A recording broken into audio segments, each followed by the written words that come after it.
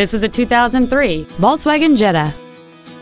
It has a 2.0 liter four cylinder engine and an automatic transmission. Its top features include a rear window defroster, a CD player, tinted glass, an anti lock braking system, and cruise control. Please call today to reserve this vehicle for a test drive. Roy Robinson Chevrolet Subaru is located at 6616 35th Avenue in Marysville. Our main objective is to make your experience at our dealership a satisfying one, whether it's for sales, service, or parts.